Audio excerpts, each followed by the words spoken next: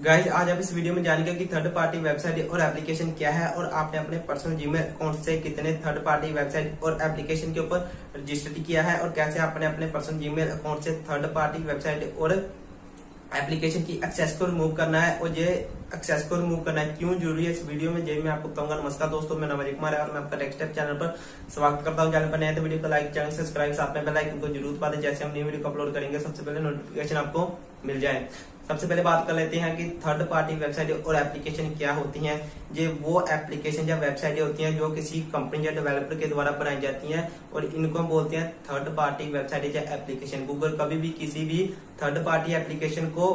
Access करने की permission नहीं देता। क्योंकि जो जे कुछ ऐसी वेबसाइट है जहाँ एप्लीकेशन होती हैं जो हमारे पर्सनल इन्फॉर्मेशन को एक्सेस करती हैं, जैसे आपके स्मार्टफ़ोन में कंटेक्ट नंबर कितने हैं, आपके सोशल मीडिया अकाउंट कितने हैं फेसबुक या इंस्टाग्राम पर उसे एक्सेस करती है और आप किसी ऐप के ऊपर ज़्यादा शॉपिंग करते हैं, उसमें अपने जो क्रेडिट कार्ड या डेबिट कार्ड की डिटेल बनी है, उसे एक्सेस कर कर हैकर के पास पहुँच जाता है और इसीलिए गूगल किसी भी थर्ड पार्टी ऐप को एक्सेस करने की परमिशन नहीं देता। और कैसे आपने जाना कि हमारे पर्सनल जीमेल अकाउंट पर कितने जो थर्ड पार्टी वेबसाइट है और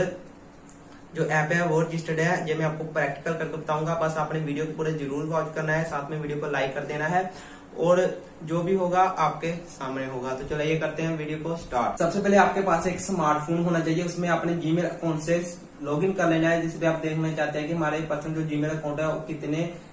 थर्ड पार्टी वेबसाइट या एप्लीकेशन के ऊपर रजिस्टर्ड है, उसे चेक करने के लिए। जहाँ पर मैंने अपने स्मार्टफ़ोन में सेटिंग को ओपन कर दिया है। ओपन कर देने के बाद आपने स्क्रॉल डाउन ऊपर को करना है, जहाँ पर लिखा होगा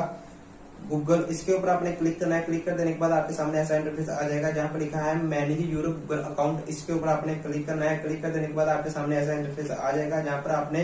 पर्सनल इन्फॉर्मेशन डाटा प्राइवेसी इसको अपने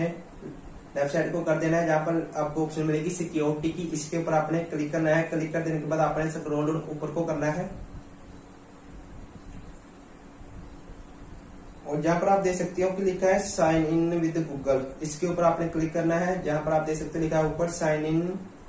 in to other sites इसके ऊपर आपने जैसे क्लिक करोगे तो आपके सामने ऐसा इंटरफेस आ जाएगा और जहाँ से आपको पता चल जाएगा कि आपने कितने वेबसाइट थर्ड पार्टी वेबसाइट जहाँ थर्ड पार्टी एप्लीकेशन के ऊपर रजिस्टर्ड किया है। जहाँ पर मैं आपको बता देता हूँ कि जहाँ पर आप देख सकते हो, लिखा है अडो फोटोशॉप एक्सप्रेस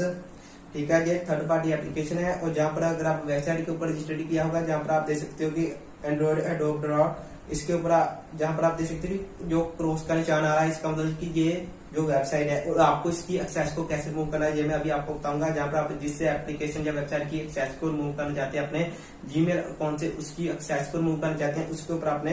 क्लिक करना है। क्लिक कर देने के बाद जहाँ पर आप देख सकते हो कि सब कुछ डिटेल बता दी जाएगी आपको। जहाँ पर आप देख सकते हो कि जून बाई बारह